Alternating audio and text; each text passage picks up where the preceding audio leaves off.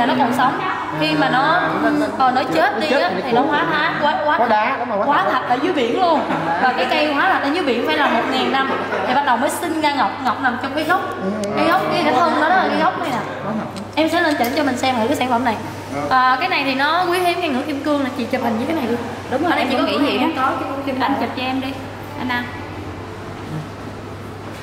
gia đình mình là năm anh bốn bốn anh em đó năm em em siêu nhân. Đó sáu anh em xin rồi, rồi.